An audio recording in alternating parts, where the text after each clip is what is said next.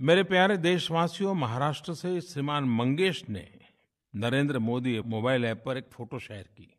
वो फ़ोटो ऐसी थी कि मेरा ध्यान उस फ़ोटो की ओर खींचा चला गया।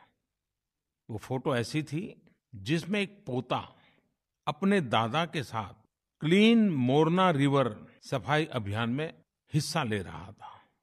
मुझे पता चला कि अकोला के नागरिकों ने स्वच्छ भारत अभियान के तहत मोरना नदी को साफ़ करने के लिए स्वच्छता अभियान का आयोजन किया था। मोरना नदी पहले 12 महीने बहती थी, लेकिन अब वो सीजनल हो गई है।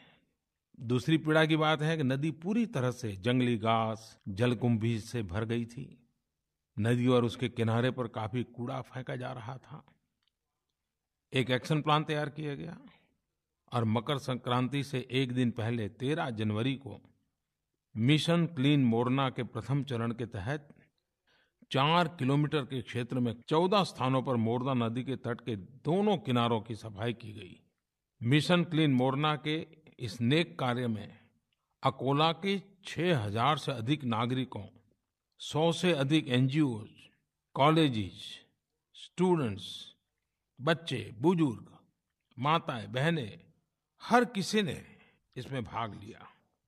20 जनवरी 2018 को भी यह स्वच्छता अभियान उसी तरह जारी रखा गया और मुझे बताया गया है कि जब तक मोरना नदी पूरी तरह से साफ़ नहीं हो जाती यह अभियान हर शनिवार की सुबह को चलेगा।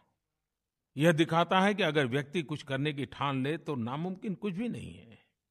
जन आंदोलन के माध्यम से बड़े से बड़े बदलाव लाए जा सकते हैं।